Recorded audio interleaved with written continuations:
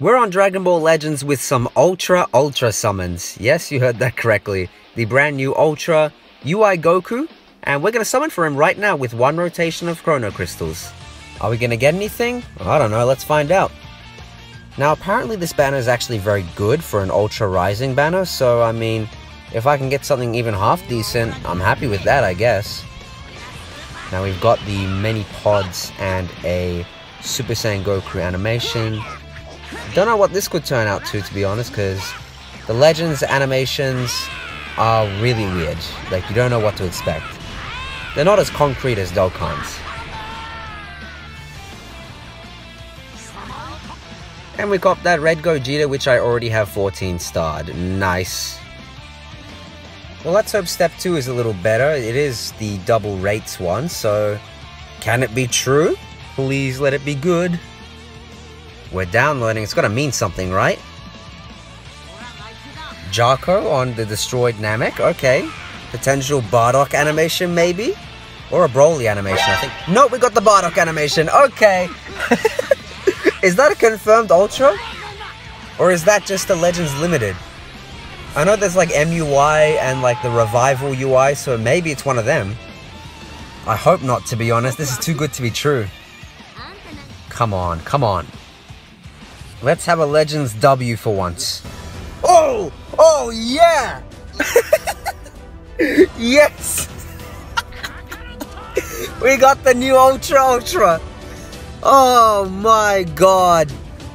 I don't believe I just did that in two summons.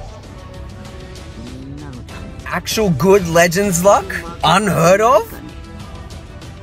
This has to be the cleanest Ultra art I've ever seen. Oh my days. Wow. wow.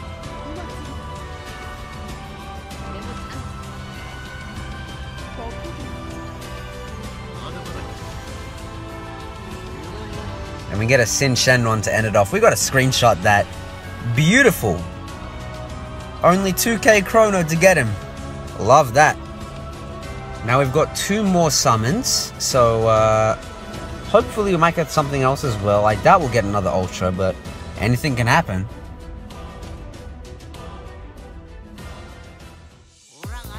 Alright, we've got the blue animation to start off with Mercenary Tao.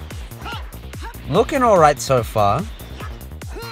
Surely Toshi isn't that generous to give us another Ultra. I don't... I doubt that. I'm not getting another one.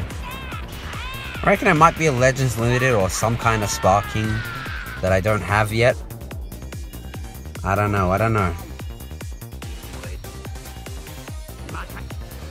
I mean, the chances are obviously still pretty low, but...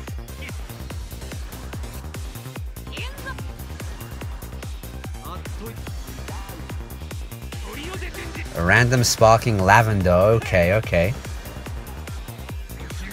And perfect cell, okay. I think I've 7 started it. Is that a Zenkai? It is a Zenkai. Okay. Cool. I doubt I'll ever use him, but I mean, it's something new. And let's finish off our summons with the free multi-summon. Something G is about to happen. I can feel it.